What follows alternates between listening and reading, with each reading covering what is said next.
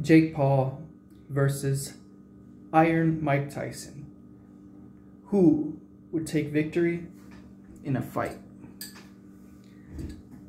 Is that a question? Nah. Oh. Sorry.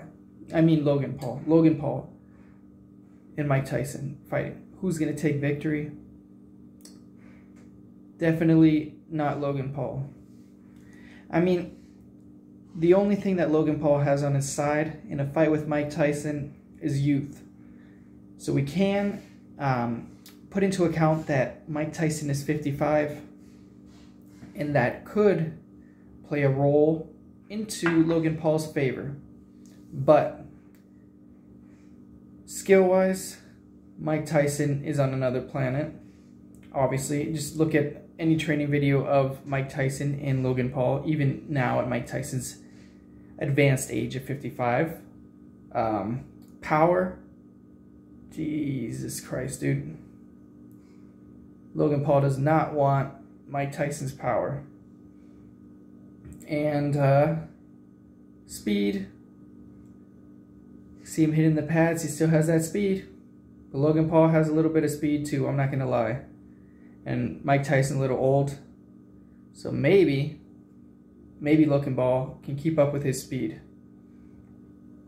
Or maybe if Logan Paul can survive a few rounds, Mike Tyson will get tired and Logan Paul can keep up there. Because again, Mike Tyson is older and this is the real world, so we have to put that into consideration. But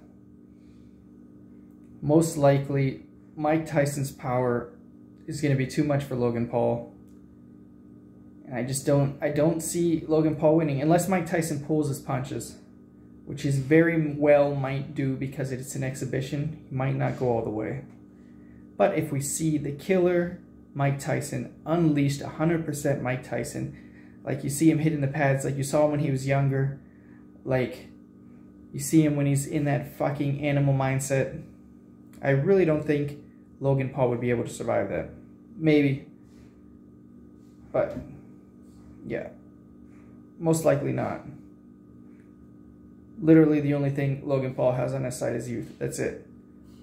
So we're betting youth versus freaking mastery of combat. Let's see what goes down. I'm definitely excited to see Logan Paul fight Mike Tyson for sure. And I'm not going to lie, I kind of want to see him get beat up. Not saying that I hate Logan Paul, but it's always fun to watch a shit show. It's entertaining. I mean, I've been beat up before. Done martial arts my whole life. It's not like I'm being a hypocrite. I think it'd be pretty cool to watch.